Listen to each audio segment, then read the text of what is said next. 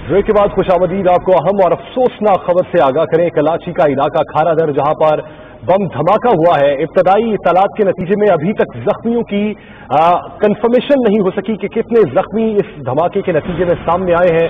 यह अहम और अफसोसनाक खबर है। कराची बुलेटिन मार्किट के करीब धमाके की इतलात मौसू हुई है और अभी तक जख्मियों के हवाले से नहीं बताया गया। न ही धमाके की शिद्दत के हवाले से कोई इतलात है? धमाका किस नौयत का है?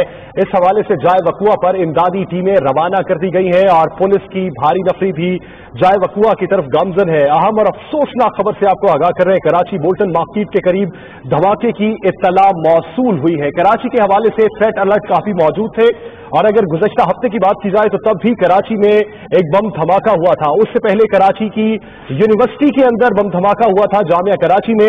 तो अब ये उसी सिलसिले की एक कड़ी शायद दिखाई देता है। बोल्टन मार्किट के करीब धमाके की इतलात मौसू हुई है।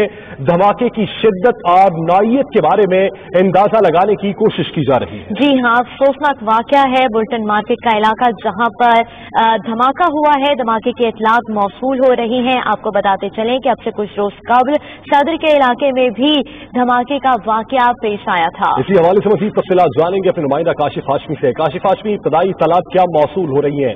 किसी के जख्मी होने की भी इतला है? हमारा पुलिस हकाम से रबता हुआ है और पुलिस हकाम और ये रेस्क्यू दलाए से भी ये मौसू हुई है कि कोई जोरदार धमाका हुआ है। कपड़ा मार्केट एक खारादर पेमन मस्जिद के पास और जहाँ पे देखिए, बिल्कुल अब तक इस धमाके के नतीजे में एक खातून जान की बात जबकि जख्मियों की तादाद दस के करीब है, जिनमें तीन अफराद की हालत इंतहाई तशखीसात है। इब्तदाई तौर पर बताया जाता है कि धमाका काफ़ी ज़्यादा जोरदार था और उस धमाका फिर मवाद काफ़ी ज़्यादा इस्तेमाल किया था जिसकी वजह से जो कागज़ी बाज़ार के अतराफ में लोग थे वो काफ़ी ज़्यादा जख्मी हुए धमाका जिस वक्त हुआ, उस वक्त बाज़ार में काफ़ी ज़्यादा रश था और अमूमन बुल्टन मार्केट और इसके अतराफ में शाम के वक्त काफ़ी ज़्यादा रश होता है।